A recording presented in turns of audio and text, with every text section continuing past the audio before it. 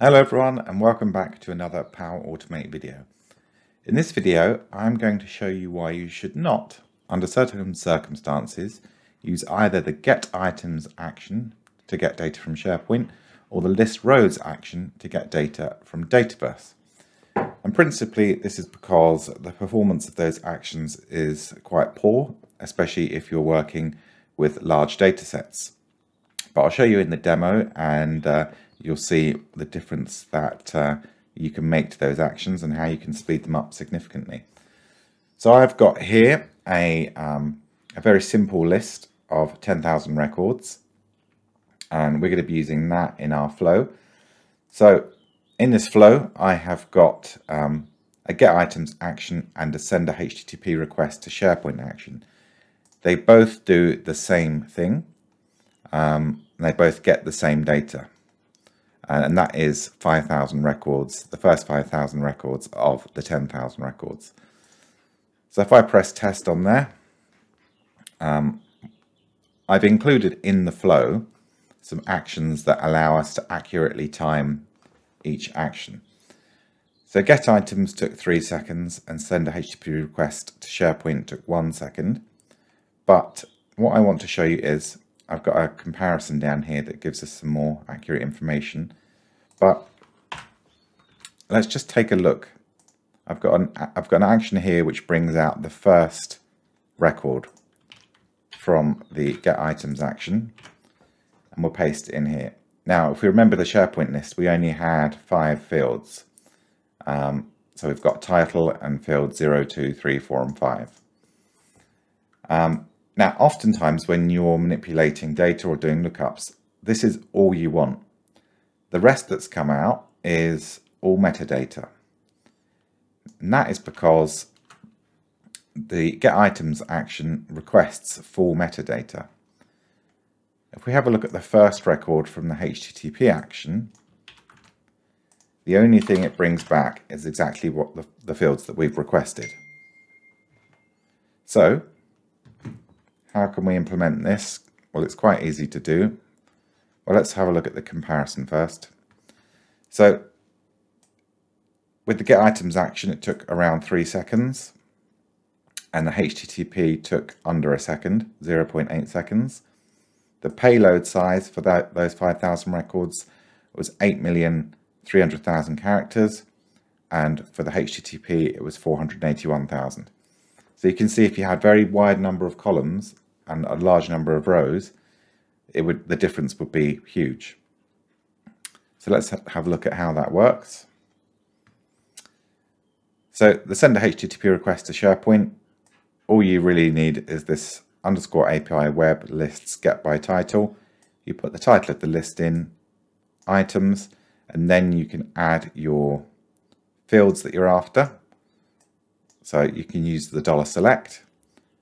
The dollar top defines how many records you want back.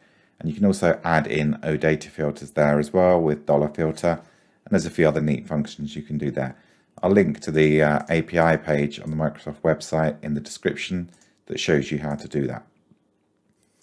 So the key part is this, where it says application JSON, OData equals no metadata.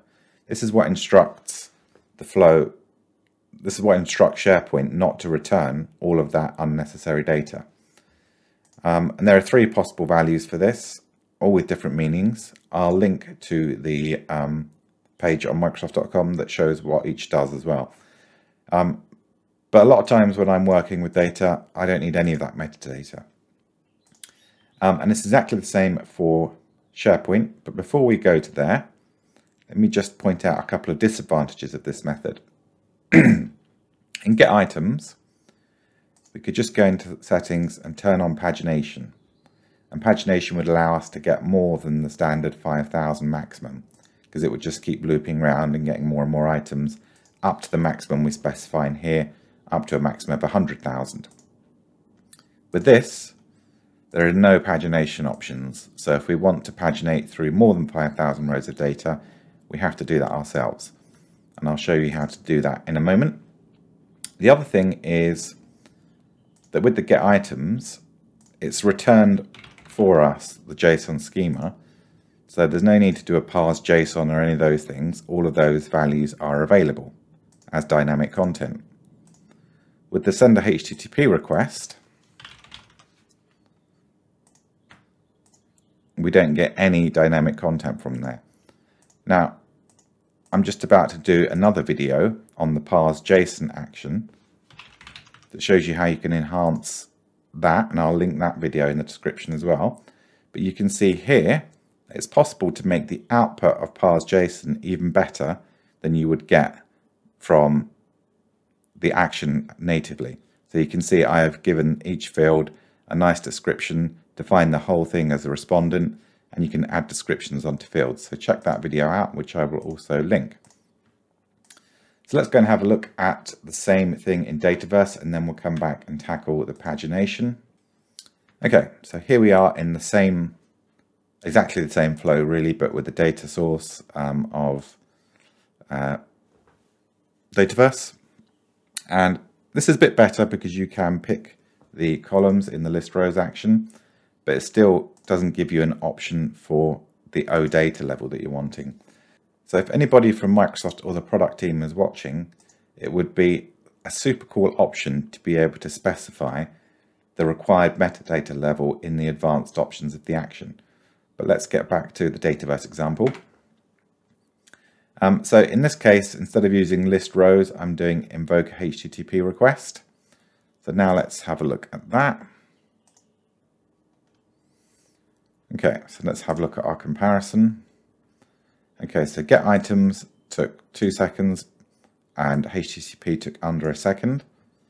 And the payload size was six and a half million characters versus one and a half million characters.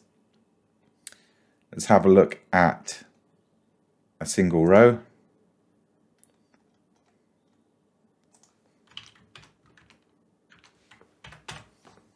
So in this case, it's even bigger in Dataverse. From there to there is one row. And let's have a look at our first record when we've used the HTTP action. That is one row. So, as you can see, it's a big difference in Dataverse as well. And also remember that the maximum size of an, the amount of data that any action can take in Power Automate is 100 meg. So if you do return a lot of lines, a lot of rows of data, you could easily go over that 100 meg on a large data set. Also, if you're returning data back to a Power App, um, you'll get better responsiveness by not using the standard list rows or uh, get items action. So let's now flip back and have a look at pagination, which is the same. Um, you deal with it in the same way on Power Automate on uh, SharePoint as you do with Dataverse, and even Graph. They're all the same. And everything that I've said about these two data sources also applies to Microsoft Graph. So let's go and have a look at some pagination. Okay, so the pagination flow is a little bit different. So I start with two variables. The first is called API variable, which is a string, and this just contains the address of the required for the HTTP lookup, exactly as we had before, but this time it's in a variable. And I have a an array variable called HTTP results. So my do until action, I've got do until API variable is equal to complete. So we send a HTTP request to SharePoint as before, but we use the output of that variable as the URI. Everything else remains the same. This is where it gets a bit different. So I'm going to append to the array variable the outputs of the sender HTTP request. But what I'm going to do is use this expression. So from the inner part of that expression, the output gets converted to a string. So from JSON to a string. And then I use slice with the parameters 1 and minus 1. And that's because the output of sender HTTP request will be a JSON array. And the first character will be an opening square bracket and the last character will be a closing square bracket. So we're just chopping those off at either end and then we'll recombine them later. And then we go into another um, variable action and we're going to set the value of API variable which is used to control this loop. This is an if statement. Let's go and have a look at it outside of here. So we're testing if the send a HTTP request to SharePoint gave us back an OData next link property. And that's how you can tell if there are more records to fetch. If it isn't there, it will be equal to null. So if it is null, then we're going to set this value to complete. If it isn't null, then we'll get that value of OData next link and bring it into our variable. And that will then go and get the next 5,000 records. Then, after that, we recombine them all. So let's have a look at that um, expression. So from the inside, we're going to join that array, that array variable we've got with a comma to make it a one long list of records.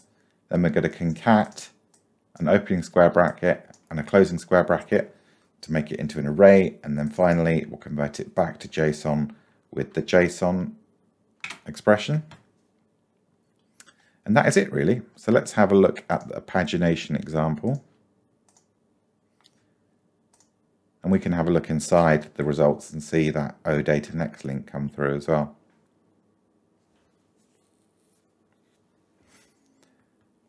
so in this case, because the number of records was more, we can see the difference in speed is becoming more apparent. So the get items took 9 seconds, just over 9 seconds, and the HTTP method took 3 seconds. Here we've got character length of 16 million or closer to 17 million, and here we've only got half a million. So you can see the time reduction was about 66%, and the payload size difference was obviously huge. Um, so the, the, the method that's been used in this flow will work exactly the same for SharePoint, Graph, and Dataverse. So if we have a look at what came in the first iteration of the loop, we can see the first value that was returned was this OData next link. If we have a look at the second iteration,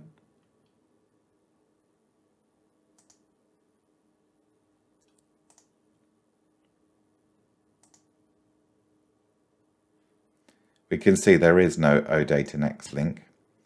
So that variable here will have been set to complete, whereas in the previous iteration, it would have been set to the correct address to get the next batch of records. So that is why you shouldn't always use list items or list rows because they just aren't very quick. As I said, it would be nice if Microsoft included an option that we could specify the metadata level we wanted to get back because sometimes you do want that metadata. And if you do, you can still use the send a HTTP request method and just specify those additional fields that you want. So I hope this video is helpful in optimizing some of your flows.